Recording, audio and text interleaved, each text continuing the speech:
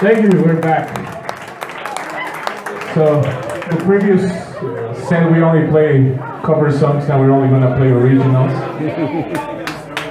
and uh, this next one is the first.